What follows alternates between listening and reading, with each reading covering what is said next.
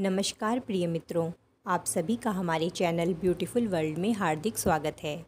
आज की इस वीडियो में हम बात करेंगे कि यदि कोई व्यक्ति सपने में खुद को गरीबी की हालत में देखता है तो इस सपने का व्यक्ति के जीवन पर क्या प्रभाव पड़ता है? वीडियो को आगे शुरू करने से पहले मेरी आप लोगों से रिक्वेस्ट है कि अपने सपनों का बिल्कुल सही मतलब जानने के लिए इस चैनल को सब्सक्राइब करें और साथ ही बेल आइकन को प्रेस करें। और यदि आप अपने किसी सपने का मतलब जानना चाहते हैं तो आप अपना सपना हमारे कमेंट बॉक्स में लिख सकते हैं। हम वीडियो के माध्यम से आपको आपके सपने का मतलब बताने की कोशिश करेंगे।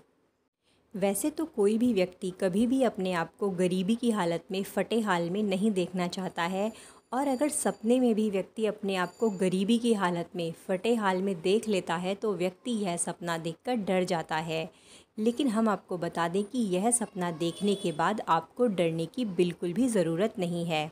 क्योंकि स्वप्न शास्त्र के अनुसार यदि कोई व्यक्ति सपने में खुद को गरीबी की हालत में देखता है तो यह सपना उस व्यक्ति के लिए बहुत ही अच्छा फल देने वाला सपना होता है। यह सपना इस बात का संकेत देता है कि आने वाले समय में आपके ऊपर माता लक्ष्मी की कृपा होगी।